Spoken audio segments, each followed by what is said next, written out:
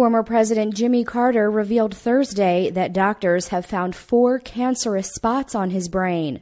In a press conference, 90 year old Carter said that doctors had found, quote, four spots of melanoma on my brain, end quote. It's likely to show up other places in my body in the future, he added.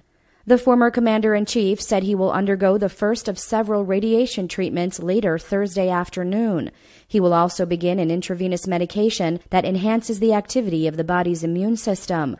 Carter's comments were his first since he disclosed last week that he had been diagnosed with cancer. Carter said last Thursday that a recent surgery to remove a mass from his liver has revealed that he had cancer.